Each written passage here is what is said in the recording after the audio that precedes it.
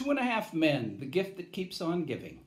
Actually, SESAC is the gift that keeps on giving, and for that I am forever grateful. I couldn't be happier. I mean, I could do without the pandemic, but life is good. So to the great bunch at SESAC, thank you, gracias, dankeschön, etc., etc., etc.